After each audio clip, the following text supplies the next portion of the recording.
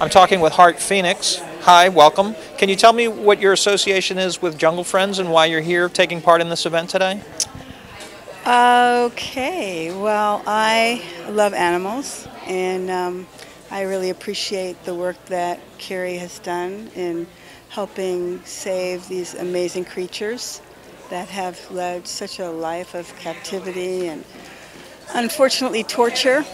So uh, I'm here to help support that. Can you tell me some of the other things that you've done that maybe some of our viewers might be aware of? Well, one of the most important decisions that I made in my life for myself and my family at the time was I became vegan about 34 years ago. Wow. And uh, it's, it's just one of the most amazing parts of, uh, I think, the evolution of who I am. That's awesome. Have you seen the movie? I have not. You're looking forward to it, I take it. Yes, I am. I remember in the late 70s reading about a chimpanzee that could speak with sign language, and it was so incredible. That it, in itself was a testimony as to the intelligence, and, and it, it doesn't even matter about the intelligence, but just the, the quality and capability of, of animals in general. So it really added to everything that I believed in. Yeah, I think I think you know what you're saying about the intelligence is is that I, I think what we look for is that connection that shows us that we're really not at all different from other animals. It's really a continuum. Yeah, thank you. Yeah. So.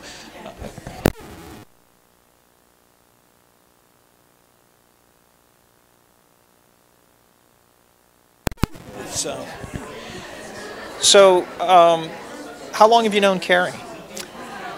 Um, I don't really remember. As long as she's been here, probably in the very early initial stages when she was first putting everything together. I remember going out there um, with only a few cages there. And now I've just been watching this video that's been showing. It's just dumbfounded. I'm just dumbfounded by what she's accomplished.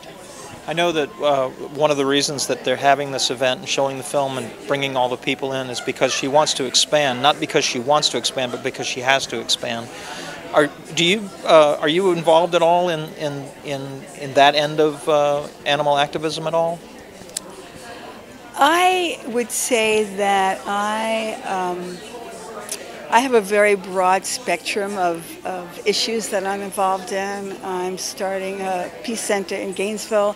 I'm part of a national organization um, that is um, about not just animal rights, but everybody's rights. So it's it's a it's a huge part. Obviously, I'm a vegan for 34 years. It's a huge part of who I am.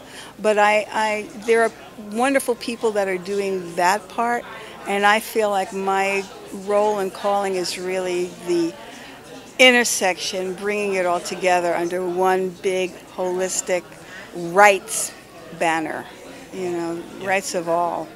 So yeah. that's exciting. I, yeah. I, is there anything you'd like to tell our viewers before I let you go and enjoy the movie? Well, I think that you know we have a way in, in as activists and as, as just people that we have our own particular uh, journey and avenue that we kind of navigate through. And I think it's so noble when we have a cause that really pulls us and gives us a, a, a reason and a mission. At the same time, I feel that it separates us, and I and and that in itself, for me, is what minimizes the power of who we really could be if we all join together and realize that yes, yes, it matters what we do to animals. Yes, it matters what we do to the earth. Yes, it matters what we do to each other. And so when we when we can't agree on that, when we're so tunnel vision into what we're doing and we're not able to expand that to include the whole family, you know, human, animal, plant, um, it's unfortunate. And so what I would like to see is a great collaborative effort and to uh, celebrate what we have in common. Because I think ultimately all of us want to be liberated, not just for ourselves, but for everyone. And that's kind of what I'm trying to do in my little life. Thank you very much. I really appreciate it. Nice to meet you.